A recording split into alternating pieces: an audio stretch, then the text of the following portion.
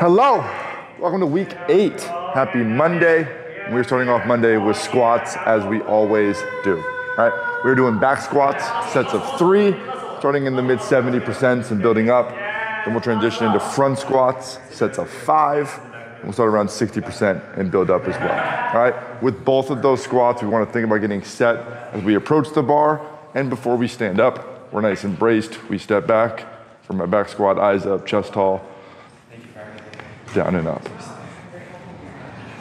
You'd walk it back in, and the same rules apply as I'm getting into my front squat. I get that positioning set.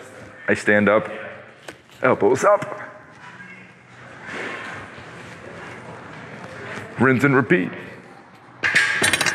Now, for our workout today, we're gonna go long distance row into power snatches, immediately followed by a row sprint and we'll repeat that for three rounds. So again, you're gonna do about 800 meter and then scale that down.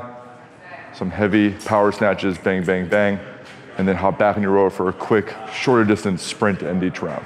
Rowing, we should be very comfortable with. With our snatch, we wanna set up under the bar, keep our hips down, shoulders over. We're nice and engaged, we're not of relaxed. You keep it controlled to the knee, my shoulders stay over.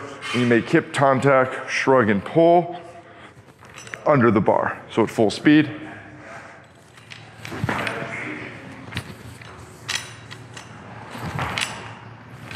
As I said, those are in the middle of your rowing pieces. Choose a weight that's difficult but manageable. Row slow, then row hard. I'll see you tomorrow.